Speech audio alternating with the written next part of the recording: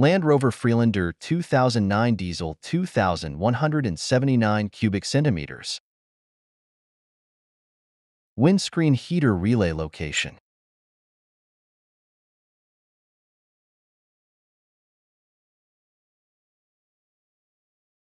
The relay is located in the engine compartment fuse box.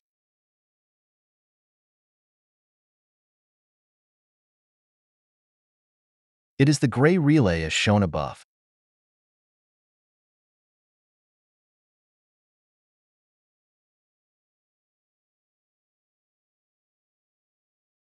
Thanks for watching. Please like, share, and subscribe.